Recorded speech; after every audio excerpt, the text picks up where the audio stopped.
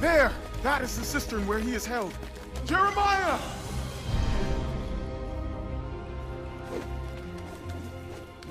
Jeremiah, please, put these old cloths and rags under your armpits, under the ropes.